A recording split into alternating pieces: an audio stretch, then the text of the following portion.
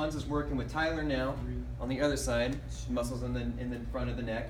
This machine is actually a five-way neck machine, so that we can work as we saw earlier, mark in the back. We can work the front, and also work either side and shrugs to get the upper traps up here. All shock absorbers for whatever sport you are playing. So whether it's rugby, football, go Hawks, soccer, uh, martial artists, whatever your sport may be, this is a very, very, very beneficial program to help prevent you and your players from from injury. So, look us up on mymusclesinmotion.com. Give us a call at 503-699-6948.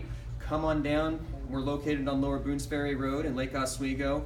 Come and inquire and let's get everybody ready for the sport that they're going to be playing this fall.